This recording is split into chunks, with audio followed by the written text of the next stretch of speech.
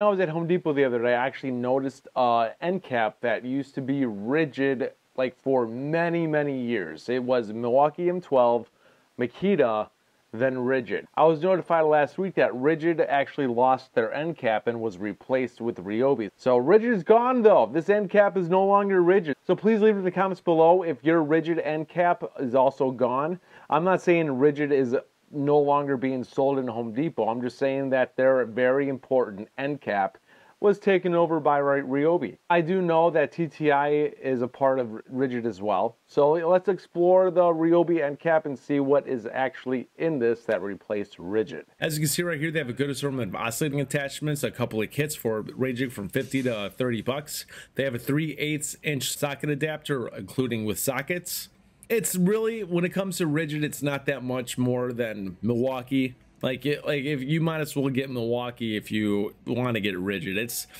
uh, the the prices of tools used to be cheaper, but they're actually a lot more expensive than they were years ago.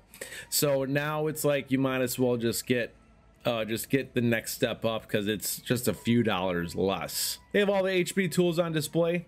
You know, these compact tools are actually nice. Eh, they're a good size. I wish the base was different. I wish that Ryobi did change their battery for a, a, a slide clip-in. So I was surprised to see this because Ridgid is supposed to be up there with Milwaukee. You know, eh, the the brand the brand in between Ryobi and Milwaukee, but for some reason they got rid of the end cap. I was seriously surprised on that.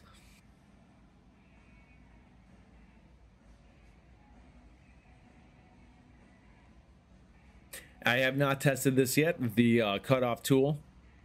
I still need to pick that up. I did try the M12. It is nice to see more green because I do love the Ryobi black and green now. Like these tools are actually pretty good. I do like the new Ryobi stuff. Back when I first started the channel, the Ryobi stuff was decent, but now their tools are actually pretty, pretty good.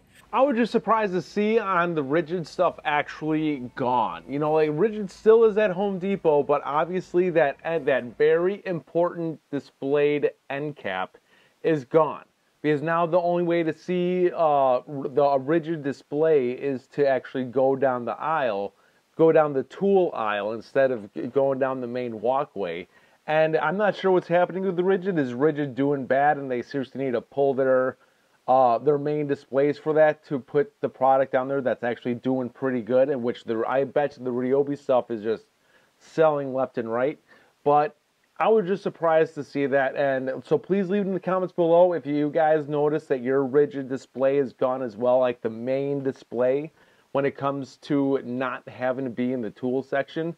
And so, yeah, I was just surprised to see that, and we'll see what happens in the future when it comes to the Ridgid product line and I'm not sure, but we'll see. We will see. So that's pretty much it, guys. I just want to let you guys know this. So if you found this video helpful and entertaining, please like this video. Please hit the bell button to be notified of future videos, and please subscribe to the channel. This is Dave Nicklas. Thank you for tuning in. I'll see you guys next time.